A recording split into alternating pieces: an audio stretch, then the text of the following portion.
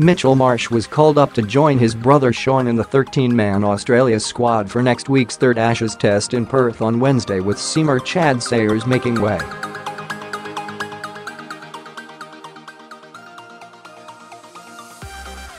Second Ashes test report, Marsh, who injured his shoulder playing the last of his 21 tests in India in March and needed reconstructive surgery, is no stranger to the WACA as captain of Western Australia.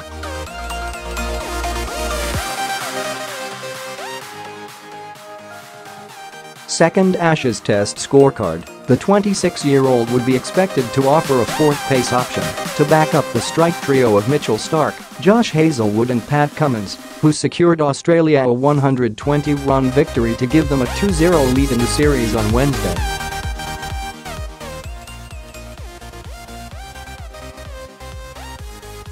To get into the side, however, he will probably need to supplant Peter Handscomb brother Shaun, who won the Man of the Match award for his unbeaten 126 in the first innings in Adelaide.